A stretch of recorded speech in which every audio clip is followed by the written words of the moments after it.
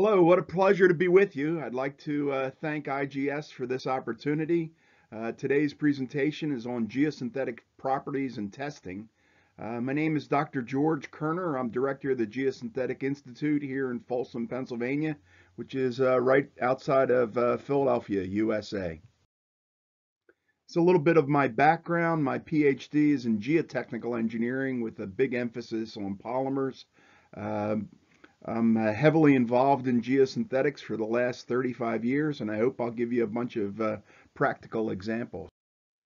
Uh, this is an outline of the presentation today, an introduction. We're going to talk about properties, specimen preparation, give a bunch of uh, testing examples, and then uh, summary and conclusion.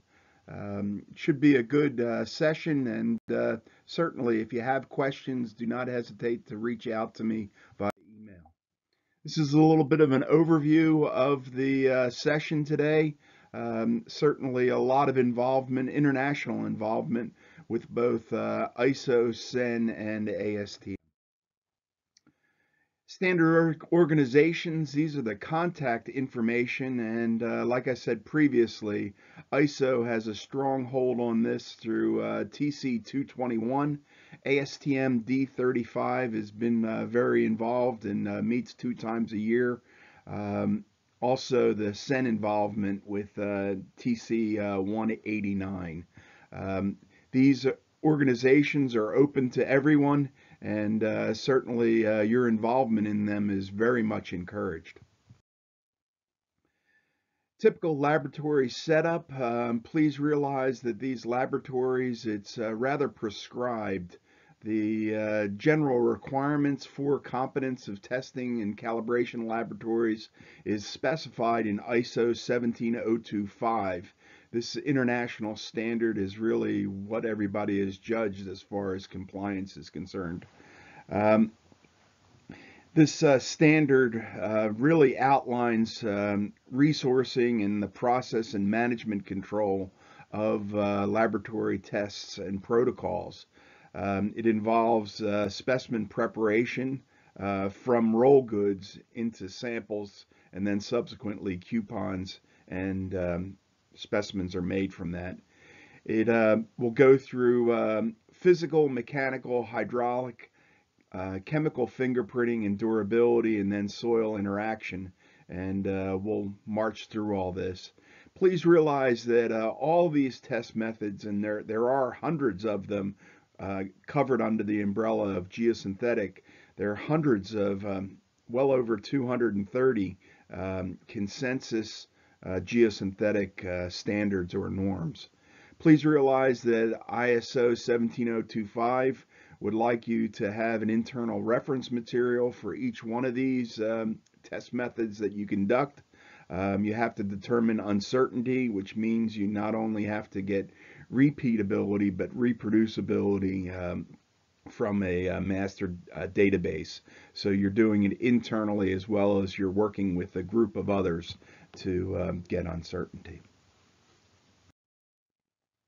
Why are we testing? Uh, we're testing for uh, multiple reasons. One is that you'd like to get conformance testing to a specification.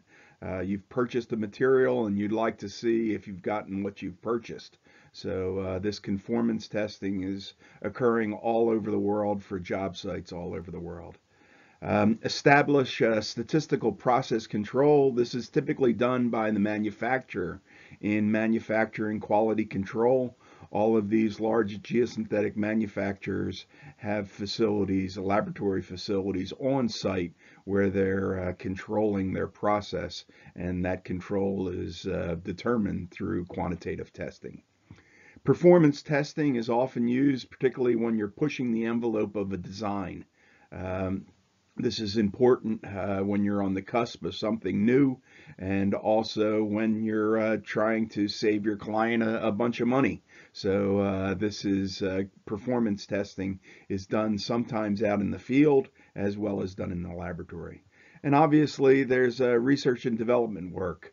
Um, geosynthetics does not stand still and there's quite a bit of R&D that's going on to improve materials, make them last longer, and uh, make them um, work in very challenging environments. Uh, two main uh, types of testing. One is laboratory and the other is field. Uh, we'll uh, concern ourselves mostly with uh, laboratory testing in this discussion. If I would have to give an equation for an engineer, this would be it. It'd be the factor of safety equation with an allowable test property in the numerator and then a required design property or value in the denominator. Uh, please realize this discussion that we're having here will uh, concentrate on the test value in the numerator. Um, you will use test methods like I described in um, ISO, ASTM, or CEN. Uh, these should be consensus methods. The design models are typically uh, computer codes these days, but uh, that, that's what's used in the design. And the factor safety is certainly application specific and uh, function specific as far as the various geosynthetics. There's a lot of availability in all three of these categories and uh, certainly you should pursue that um, to, to be informed and to stay with the current uh, state of the practice. Please realize that geosynthetics are made up of formulations of polymers. Uh, they typically get tagged with the resin the principal resin property, let's say high density polyethylene or linear low density polyethylene. But please realize there's a formulation involved with this. It's typically a uh, resin, um, plasticizer filler, um, carbon black, and then an additive package. Um, there's also processing aids in this material, um, you know, for its use. So uh, you have to be cognizant of that. Uh, there are different qualities of um, the additives as well as the base resin, and a good marriage of those two together uh, will typically lead to uh, good properties down the line. Okay, the properties that we're looking at are uh, physical, mechanical, hydraulic, and endurance properties. This is replete uh, through any engineer's uh, material and uh, certainly geosynthetics fall underneath that category. As far as physical properties are concerned, we have density or specific gravity, uh, mass per unit area, thickness, roughness or asperity, um, stiffness, flexibility, drapeability, um, transparency or color is sometimes important, and then hardness or durometer. Uh, mechanical properties are can be in both uh, tension and compression stress strain modulus, toughness, the area under a stress strain curve, burst, tear, puncture, impact, friction, and pullout. Uh, the last two are, sometimes even with uh, soil interactions. Hydraulic properties, uh, we're talking about porosity, percent open area, apparent opening or equivalent opening sizes, permeability, transmissivity, Permeability is cross-plane flow. Transmissivity is flow in the plane. Uh, soil retention or clogging. Uh, water and sol solvent uh, vapor transmission. This is becoming very important, particularly in the containment industry, while you're uh, containing, let's say, uh, VOCs or uh, methane. Endurance properties, and this is really where I've made my hallmark. creep, abrasion, environmental concerns, fatigue, chemical fingerprinting, um, TGA, OIT, dynamic mechanical analysis, or melt flow index. Um, the, the geosynthetics can be judged against these properties and you can track them over time. There are degradation mechanisms involved with uh, aging of geosynthetics. Uh, it comes from the perspective of UV, radiation, uh, particularly uh, low-level radiation. Chemical, uh, hy hydrolysis, swelling, extraction, delamination, oxidation, and uh, biologic. Uh, it's not biologic degradation, but uh, certainly you have to prove fitness of use in this regard. This is quite involved. the geosynthetics, um, the standards, the norms have taken a lot of use in this regard and uh, it's really yeoman's work uh, by the people involved, and uh, they deserve a lot of credit for establishing this uh, really in a short period of time over the course of 35, 50 years. When the materials age, uh, typically the materials get stronger. This confuses some. You see the stress strain plot, the original, and then the incubated. Uh, you're looking at typically um, the stress being higher, but the strain being less. You also see an increase in modulus, which is represented by that straight line on the curve. So uh, this is the typical trend as far as the polymer aging is concerned. And how would you track that? You typically track that over time. Um, it's incubated time in a uh, weathering device. Um, you're looking for percent change with respect to time. Uh, in this particular case, I'm, I'm showing the comparison of the zero value um, with 30, 60, 90, and 120 days. You see the modulus increasing, you see the stress um, increase, and then some, sometimes it drops off. The strain, though, will decrease significantly over time, and that's probably your best tell or your first tell of how the material is changing over time. The thresholds at which you set um, these parameters are um, to the avail of the engineer. Um, it's certainly a compliance or a, it's a judgment call as far as the uh, specification in regards to these um, threshold values. Okay, each one of these tests that I'm going to describe to you um, requires a specimen uh, preparation. You're typically receiving geosynthetics from roll goods, uh, taking coupons across the roll width, and then subsequently uh, cutting out specimens in the machine and cross machine direction. You see three pic pictures here. I'd like to focus you on the center uh, photograph. Here you see a roll width by about a meter um, wide specimen and uh, coupons are cut out on the diagonal. From those coupons, specimens are cut um, and those specimens are actually tested. Obviously, if you were testing uh, mechanical properties, you would test in the machine and cross machine direction. The traceability of this is extremely important um, in a laboratory and good protocols need to be taken. On the left-hand picture, you see a, um, a die for cutting out membranes. The tolerances are quite tight on this. It's in regards to um, less than a percent uh, variation in the tolerance for the specifications uh, for the dies, the control of the dies. On the right hand side you see a large clicker press. Uh, these are the dies, the steel rule, rule dies which are typically used uh, to cut out um, geotech. Okay, now I'd like to go into uh, physical examples uh, for physical testing. Uh, the easiest one for me to uh, relate to you is thickness, but it's not so easy. Uh, thickness, um, there are nine different thickness methods or norms in geosynthetics that I know of. Uh, this can vary from anywhere from a deadweight micrometer to asperity thickness to non-contact extensometers and also uh, screw type micrometers. Uh, you have a lot of variation uh, here in the method. Uh, it depends on the type of geosynthetics that you're testing. Membrane is different than textile. Textile is different than erosion control. Material is different than uh, drainage composites.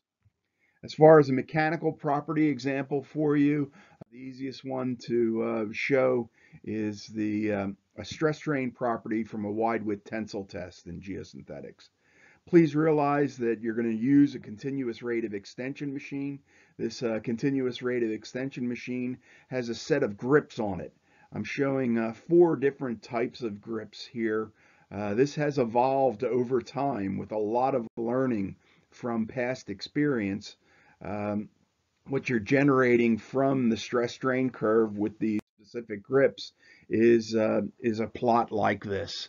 Um, you can use um, grips with contact extensometers or non-contact extensometers to generate this stress strain curve.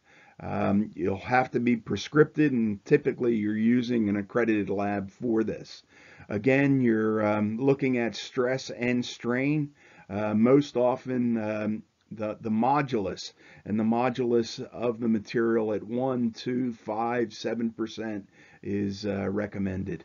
Um, especially when you're going to wide width tensile test of reinforced materials, whether it be uh, geogrids or geotextiles. Very important in the um, test setup, uh, preload, uh, specimen preparation, and measurements which are taken during this test. But uh, certainly uh, it's a learned skill. Um, you need a laboratory that's done this in the past and uh, can show proficiency at uh, conducting the test methods. In addition to uh, stress strain or tensile properties, you could have tear properties. There's several different uh, tear methods out there. Um, here you see the contrast of uh, three different tear methods, the trouser tear, the Graves tear, and the trapezoidal tear, all demonstrated in these slides. But uh, it, it, it's involved. You have to specifically ask um, what, what you're looking for, and these materials, whether they be scrim reinforced or uh, geotextile or uh, geomembrane, uh, each one has a different um, method, which is optimal uh, for uh, testing uh, from both a perspective of um, QC as well as QA. Puncture testing, and this one is extremely involved. Um, the, in, particularly in containment, you can't have uh, puncture issues. But uh, puncture strength uh, for different materials uh, linear low density has a much uh, different response than HDPE. I tried to contrast them here with you. You see the tremendous elongation with linear low density. I'd love for somebody to do puncture toughness. Which is really what we're looking at. It's not ultimately puncture strength, but puncture toughness, which I, I think we're after as an industry. But this would be a move in our direction. Comparison of different index puncture tests. Uh, you see here pyramid puncture um, versus pin puncture and CBR puncture. All of them are addressed in uh, ISO uh, uh, standards and certainly are, are good to for use in the different application areas. We not only have the puncture methods, which I described earlier, but there are dynamic or impact puncture as well. Uh, shown here in the slides, uh, which are uh, can be availed to you, particularly if the application calls for it. Puncture out in the field, though, uh, could be significantly different. Um, you can have puncture from above with, let's say, a granular aggregate over top of a liner system, or puncture from below, let's say, a stone in the subgrade. Uh, can we simulate this in the laboratory? And of course is the answer. There are several methods, and I'll show you two uh, very different ones. One is off of a pressure uh, vessel with a pump and then these indicators. Uh, we're typically using truncated cones so that we can get repeatability on this. Here you see the typical response. In the upper photo, it's uh, HDP. In the lower photos on the right, it's linear low density. And you can see a, a very big uh, variation. In the left-hand side, you can see the puncture of the, the three cones, the truncated cones by themselves. And in the lower slide, you can see it with uh, puncture protection material being uh, a stout needle punch non-woven geotextile. These response curves are, are shown a uh, failure puncture or actual uh, breach of the material versus cone height. And you see the different responses for HDPE, PVC, and then linear low density polyethylene that critical cone height is changed from around 20 millimeters uh, and pushed all the way beyond 80 millimeters for the linear low density polyethylene. Very different responses based on the, uh, the type of material. To further push the, the envelope, you see the HDP curve now in blue by itself. And now we've helped out the uh, response, the puncture response, by ever increasing mass per unit area geotextiles. Uh, this is certainly where the in industry has gone. We want to uh, protect the geomembranes, which aren't fragile, but uh, certainly uh, we can't puncture them and anticipate that they would behave well as uh, containment issues. To further push the envelope, uh, we have greater demands um, from industry as far as long-term performance of um, containment geomembranes, and this is in regards to uh, limiting the amount of strain that the geomembrane would see out in the field. Uh, typically what you're uh, seeing in the field is a cross section uh, like this.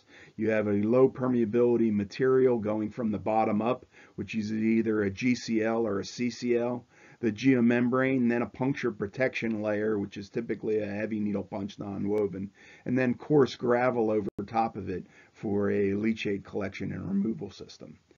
Can we model this in the laboratory? And uh, the answer is yes. It's a resounding yes. Here's a device which is uh, used often in Europe.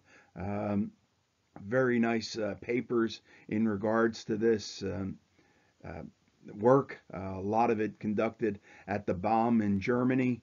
Um, what they have in this cross section is underneath the uh, geomembrane, they uh, typically have a, a, uh, very soft metal plate. And this soft metal plate, which is extremely thin, is uh, made out of tin and then subsequently after the test they can analyze the uh, plate for deformation and track how much uh, strain is in the material. So uh, there it shows you the complexity from an index test to a performance test as far as puncture is concerned and I submit to you that most of the testing that we see can be um, can can be extrapolated like this as well. Now going into hydraulic examples, um, hydraulic properties, particularly for geotextile filters. Uh, we see things like AOS or EOS, apparent opening area or equivalent opening size. Uh, we can do it through dry sieving, wet sieving, and also through a, a porometer. All of these things, all of these methods have been standardized in our industry. Uh, holding the specimen is uh, critical, particularly when you're dry sieving, and uh, certainly uh, the static electricity associated with things is important as well. Typical response curves uh, from geotextile opening sizes. Uh, you see on the left-hand side, the blue curve is just a threshold. So they're giving a um, apparent opening size in regards to um, 95 or 5% passing line. Uh, in, in contrast to that, um, they're giving the full curve from the porometer uh, which you saw in the previous slide. And here you have the entire distribution, both of which can be used for uh, filter design. I submit to you that the entire curve is uh, much better for this analysis. That's cross-plane flow. You're using uh, the uh, the opening size of the textile to do your um, your your your filter design, which is a contrast of uh, permittivity, cross-plane flow versus opening size. In contrast to that, this is flow in the plane of the geosynthetics. And um, here is a series of various geocomposites. These geocomposites are um, are typically uh, made up of a uh, spacer or net and a uh, geotextile on the outside, which behaves as a filter. We're looking for in-plane flow or hydraulic transmissivity. This is a uh, transmissivity unit. It consists of three major component parts. There's a reservoir box, a specimen holder, and then an outlet weir. Um, pardon me, you can um, you can control um, normal pressure on here as well as hydraulic gradient. And uh, that's usually what's uh, used. You saw the uh, photograph uh, in the previous slide. This is a cross section. Uh, the specimen holder, uh, typically um, you, you have um, superstratum and substratum, which you can control. Um, there are um, standardized soils as well as uh, foams to simulate uh, soils which are, are, used in, in both those categories or some manufacturers run it with uh, rigid plates top side and bottom for uh, quality control check. Um, again, you, your two parameters which you uh, can modulate are normal pressure on the specimen and hydraulic gradient. The relationship is a, a, uh, flow relationship from uh, Darcy's formula, Q is equal to KIA, and here we get the transmissivity, uh, knowing the flow rate, the, um, the width, and then subsequently the, the gradient of the specimen. Um, you're looking at uh, response curves for this transmissivity test, and they're broken down into uh, three different categories. Uh, the first uh, figure up in the upper left-hand side is a biplanar uh, geonet sandwiched between uh, two geomembranes. And looking at their flow response, that's flow rate versus normal pressure.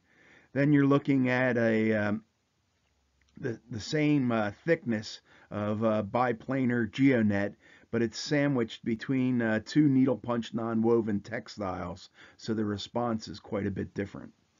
In regards to the lower uh, curve, you're looking at a uh, flow rate with respect to time. Um, it's a, a creep uh, scenario with a sustained load on it. So I'm sorry they're so small. I even had to take my glasses off. But uh, these are the typical response curves that you, um, you, you see from transmissivity unit. Going further to uh, soil interaction, uh, the best one that I could show you is a, uh, direct shear apparatus. Uh, any geotechnical engineer would know uh, the Mohr Coulomb failure criterion. Um, you're looking at um, a shear strength versus a normal plot. You will develop a, failure envelope. Uh, the friction angle is actually the slope of this failure envelope, and the y-intercept is the uh, cohesion. For us in geosynthetics, it's typically an adhesion response, uh, which we're looking at. The uh, governing equation uh, for the this slope line is uh, linear uh, regression and certainly known to, to all of us. The, um, the device, this is a cross section of the device, the direct shear device, and it's really uh, two box halves. Um, normal pressure can be applied and typically you're monitoring uh, shear strength versus displacement. Uh, there's also some monitoring uh, as far as uh, vertical displacement if uh, the latency is uh, of interest. You certainly need a uh, frictionless plane underneath the box and uh, certainly this box needs to be calibrated in regards to any of the measuring devices. Here you see it in schematic form, the two box halves in the, the upper ISO and the bottom cross section. There are many uh, boxes available. Uh, these boxes are uh, large. Uh, the, the boxes are 300 millimeters by 300 millimeters at a minimum, and usually the lower uh, sled is uh, quite a bit longer so that you can accommodate um, deformation at least up to 25%. The clamping or gripping um, of the frictional surfaces is extremely important. You can have front, side, and bottom and back clamping associated with this. It's all uh, equipment specific, but uh, extremely important to the uh, response curves. Again, the frictionless uh, surface um, the standards are not prescriptive in regards to how you uh, get a frictionless surface. There are many different ways to do that with linear bearings, um, roller chases, uh, Teflon, grease Teflon, uh, but you, you, you need to have that frictional frictionless surface and uh, certainly have to control it over time with uh, significant normal pressures. As far as measuring the actual shear strength in the box depends heavily on the normal pressure. Uh, you have to be within 10 to 90% of the load range um, for this measurement.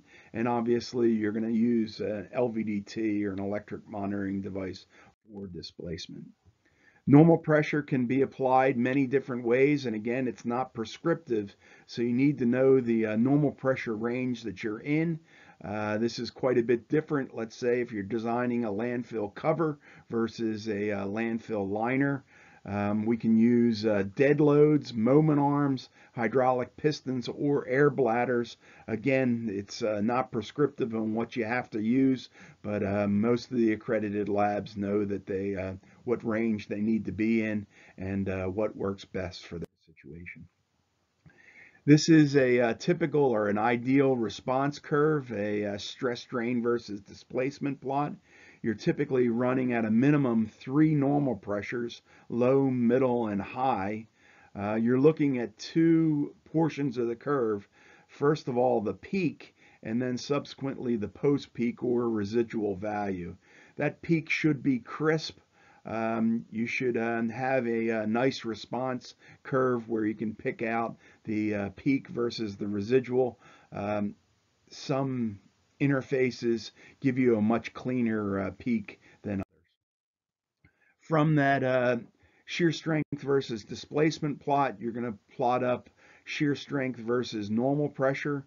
You'll have three points that will uh, can be developed into the peak curve and then a subsequent three points which can be developed into the residual curve. Um, backing off again the slope of uh, both the peak and the residual, and that's typically the uh, take-home number from the direct shear. To show you how this is used in an actual application, I wanted to go to a, uh, case history. This particular case history is a, uh, 3 to 1 slope, therefore the beta angle on the slope is 18.4 uh, degrees. The cross section is a uh, PVC geomembrane with a uh, composite on top of it. That composite is a uh, drainage composite. And then there's subsequently soil over top of uh, that composite, and this is a uh, landfill cover. This is the site, and we knew that we were in trouble down at the uh, toe swale because there was a gathering of material. This gathering of material was uh, quite pronounced and showed that there was quite a bit of movement on the upper slopes. Sure enough, this was the case.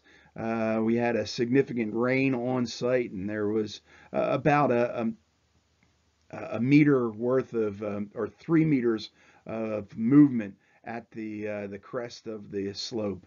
The interface that uh, moved, you can see there, and uh, showed a little bit of uh, slickensides movement. Pardon me. Here we see a typical response curve of uh, PVC against a needle punch non-woven geotextile. In the upper plot, this is a massive database for that interface, and we're seeing a peak value of around 20 degrees with a residual value in the neighborhood of about 16 degrees. So let's back up and see how this is uh, used for, uh, for design. And here you see uh, the design, uh, this cover soil stability, and this is for a, a uniform cover.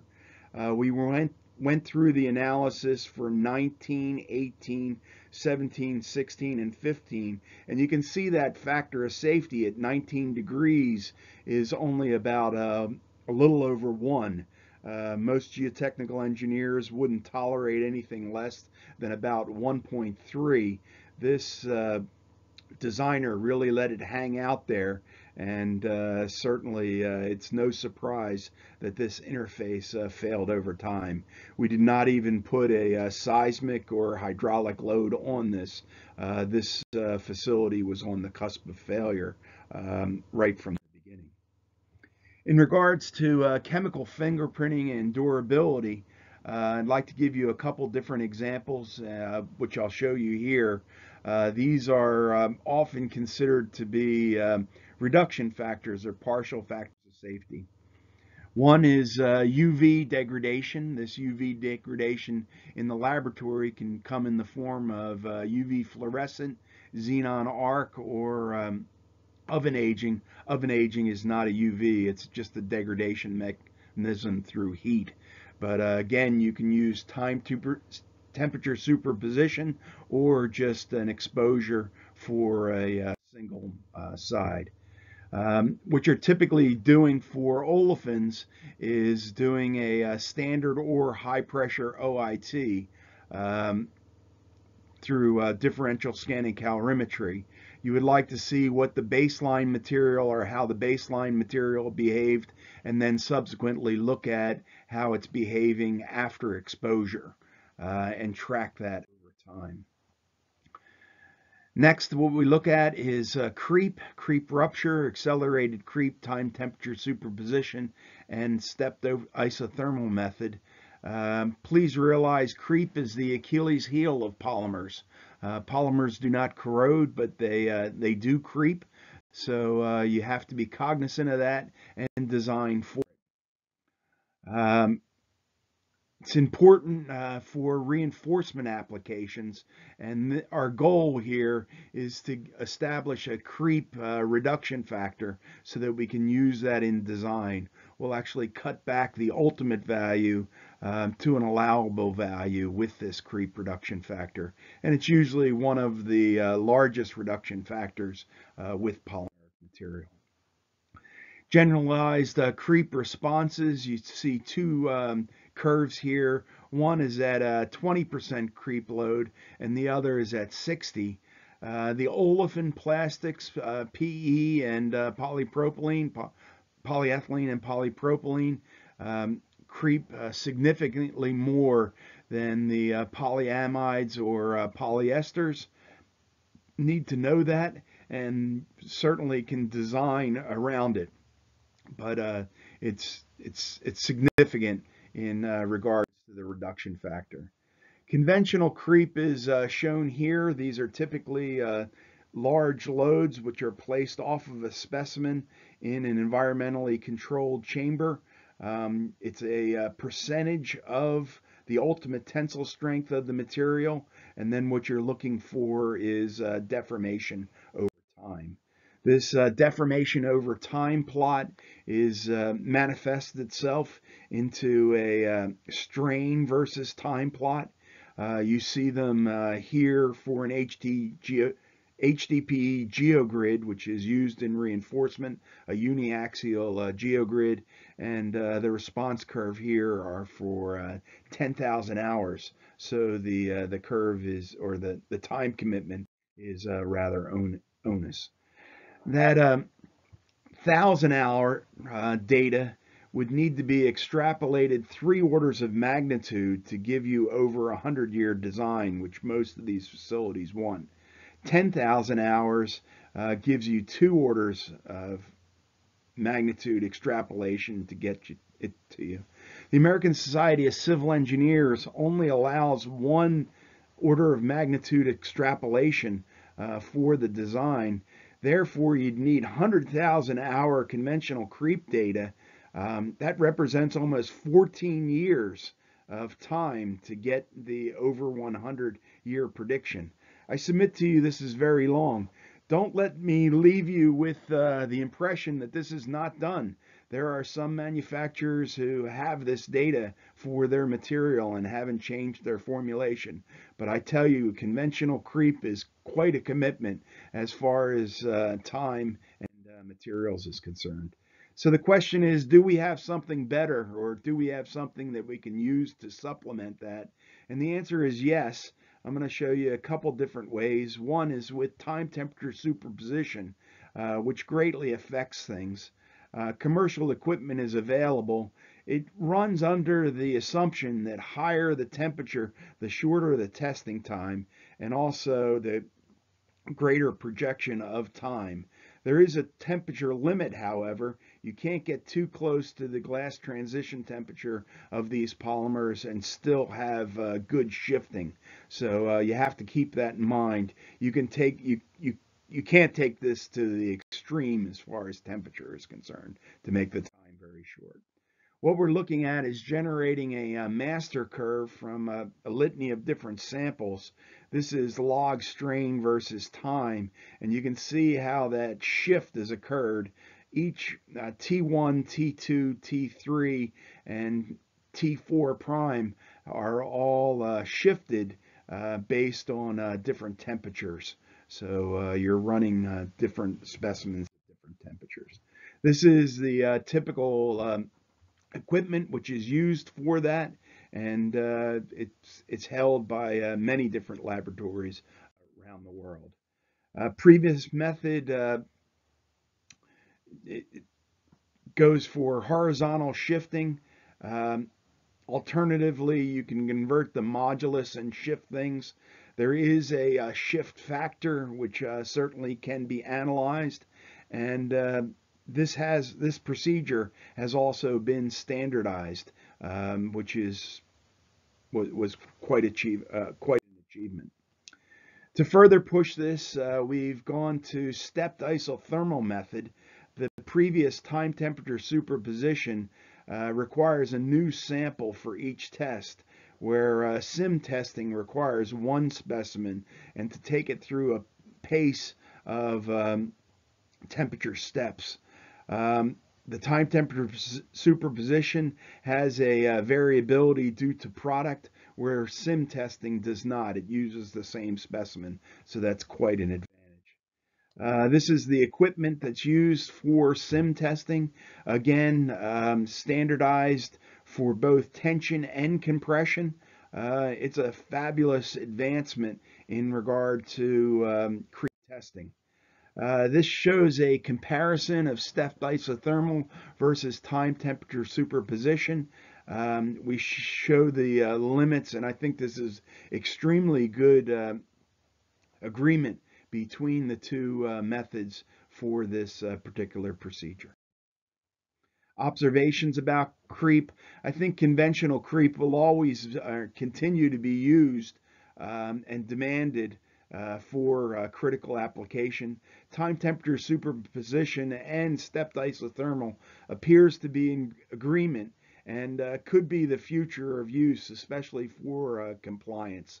Um, interpretation of the data is critical and standardization of that has been done. So uh, these methods are well on the way to answering how much is the material going to creep and what creep factors of safety should I use. Okay, that was a lot uh, real quick, but uh, I did my best to uh, cover a lot of ground. Uh, in regards to uh, summary and conclusion in regards to uh, testing and properties, I really think uh, geosynthetics um, work well, but they're uh, they're tricky, and uh, tricky in regards they need to be installed um, well and installed right the first time. Geosynthetics aren't aren't good with band-aid approaches, so you really need to balance this uh, testing and design. I hope I showed you this vignette over the course of an hour uh, to give you an idea of the testing involved and it, it's very well complemented by the design. Uh, we've been testing successfully for um, 50 years now in geosynthetics and uh, they've made great strides. Um, I suggest that you use a, a, quality system approach with an accredited testing facility, um, certainly to conduct your test. Uh, you have to ask that these uh, laboratories are controlled and that they know the uncertainty and risk associated with the results that they're providing. I think index tests uh, do not always simulate field performance, index tests are fine for controlling um, the product in a manufacturing facility, but um, we have to go, we need to do uh, more performance testing um, to get really good handles on partial factors of safety and to guard us against uh, any shortcomings or uh, problems out in the field. I'd also like to give you a pitch to get involved with these uh, standards organizations whether they be uh, CEN, ISO, or ASTM. Um, these these organizations need new blood, and there's uh, certainly plenty of activity to uh, go around where uh, people can help and advance the industry. I'd like to thank you so much for participating. Uh, there's a lot of contact information uh, here on this slide um, certainly that you could reach out to uh, the IGS um, in, in, many different ways. You're welcome to reach out to me at the uh, Geosynthetic Institute. Um, I'm certainly a member of IGS and uh, I'll help you, I'll service you in any way I can in regard to testing. Thank you so much for being with us. I hope it was informative and I look forward to seeing you in the future. Take care now. Thank you.